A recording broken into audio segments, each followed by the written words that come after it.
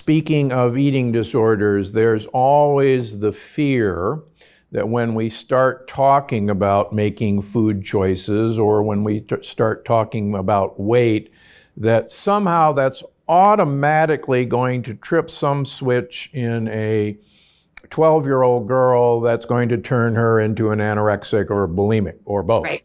Uh, right. What say you? What say I? Yes. You're going to throw me like a lamb to the slaughter.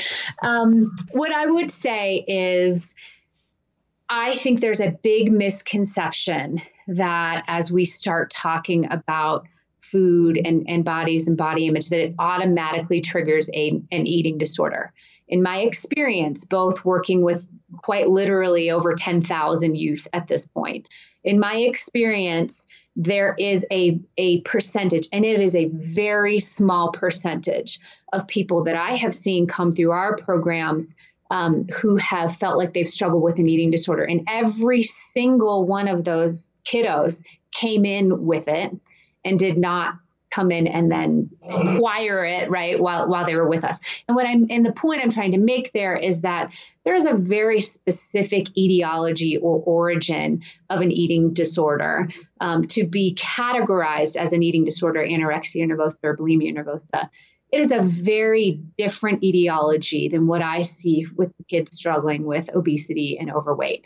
There are also some, um, you know, sort of genetic and biological triggers for eating disorders. So while there is some relationship and small percentage, I would say that it's the vast majority of kids that are that are struggling with something more like disordered eating, right? That they have this struggle with a body image in relation to their food decisions, that is a much higher percentage. Um, but the truth is, this fear of not discussing food and not discussing healthy behaviors is not helping either, right? So there is a way to talk about it that certainly is not going to suddenly trigger an eating disorder in a child. But not talking about it either is not that helpful, I find. Okay. So so, what do you advise? What sort of advice do you give to parents and kids about making choices in the kitchen, for instance? Um, do you spend a lot of time on that, or not? Not so much in food preparation, or okay, here's our choices. Here's what here's, here's what might work for you. Yeah, um, we do. We spend a lot of time in it, as you can imagine, and as you also can imagine, it has changed through the years as the science and the research has changed and, and what we know now about um, a healthier diet there's that, that word again um, really when i'm working with families the most important thing that i stress is that um, health is a family affair. One of the biggest mistakes people make is oh i have you know one son who can't keep weight on him and one son who can't take weight off of him and so we have special food for this kiddo and special food for this kiddo.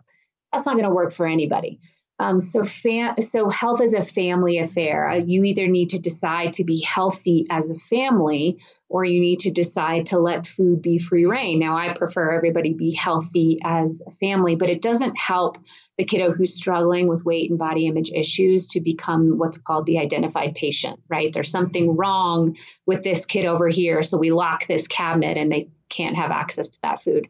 Never helpful. Um, if you're asking about what we prescribe specifically nutritionally, um, what we have found works best for this population and I'd be curious to know if you disagree but this this push towards nutrient dense whole foods um, overall is is is what we adhere to and becomes really important to us. We think it's very important what the kids eat, not just how much the kids eat. In fact, more important what than how much. Um, so we explain what a, to us a nutrient dense whole food is. Food in its purest form, you know, it's close to Mother Nature as humanly possible. And if they're willing, stay away from and and and there's no need to touch processed foods and foods with added sugar.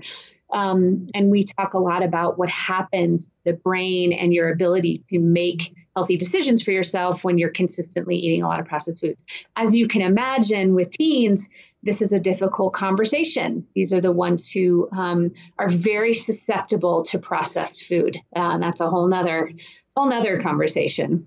You know, so speaking of addictive foods, you, you come down pretty hard on food companies in the mm.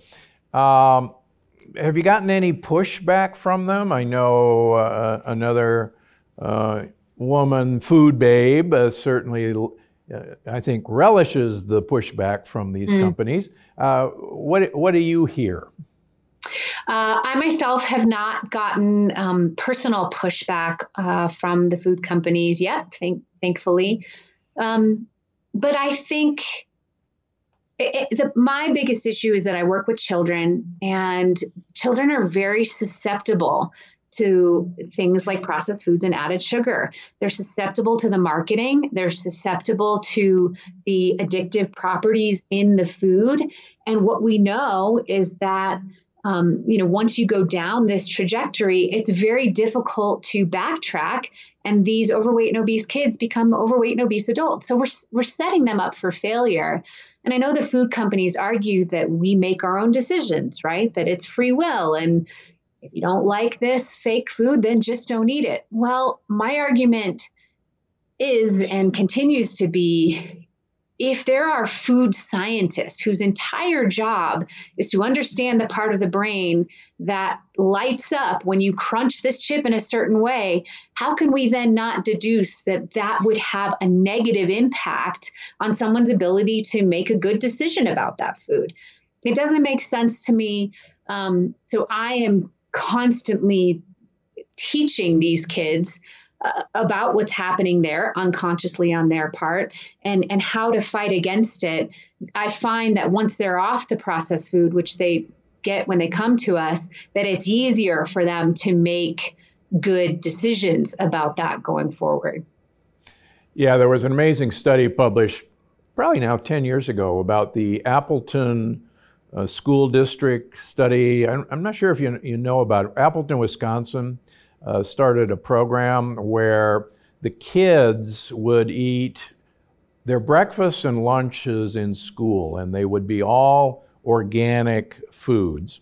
And then they would they taught the parents what would be appropriate to serve at dinner, but they mm. didn't have any control over that. And they did this actually for a year. And what happened was that behavior issues virtually disappeared from school. At school. The mm-hmm. testing scores went up. And uh, the, tri- the trips to the principal's office uh, dramatically went down, and the truancy rate went way down. What's really sad about the whole study, which uh, they then wanted to institutionalize it, so they mm. brought in a major food service company to run this, mm. and I mm. won't mention names. Uh, but the minute the major food service company yeah. came in and started running it, went right back down to normal because right. they were basically sneaking in the processed cheap foods again. So, speaking of teens, What's what's your feeling about the impact of screen time on all of this epidemic? And any thoughts on how you help parents or even the kids develop habits with screen time? I get this all the time uh, at camp and have seen the progression over it, uh, seen the progression of it over the last 10 years and how that's actually changed our youth. Um, one of the first things I tell parents, as, as, much as I can, is you are still the parent. And so, to the extent that you um, are, are having struggle or finding trouble with screen time, remember that just because everybody's friend has the phone and the iPad and the TV and computer in the room doesn't mean that you have to follow that those you know those those same quote requirements. Um, I often tell parents to sort of take back the household in the sense that Um, if your child is struggling with screen time, there should probably be some structured time around it. Um, I, I always tell parents no screens in the bedroom, um, especially at bedtime, right? Uh, when when when it's so important, especially for our teenagers to be sleeping. And and what I hear is, yeah, but how will they wake up in the morning? They need their alarm. And what about the music to go to sleep? And I chuckle and I smile and I say, man, I had an alarm clock and it worked just fine.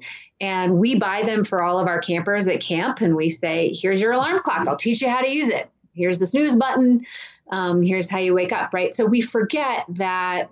Uh, we we don't have to go with conventional wisdom. You don't have to go with the flow. I believe that screen time is just becoming another unhealthy coping mechanism for our teens, another way to numb out, another way to um, to find reprieve from whatever they're struggling with. And of course, when we were kids, we didn't have things like that. So we were either outside or we we sort of had to learn to cope with whatever anxiety or stress was coming up for us naturally as a teenager. And our kids aren't doing that as much anymore. They're reverting to their screens um, in order to numb out those feelings. I, I don't want to be um, a, a I don't, I don't want to sound the alarm or anything, but I think we have yet to see the long term impact of how much um, screen time is impacting our brains.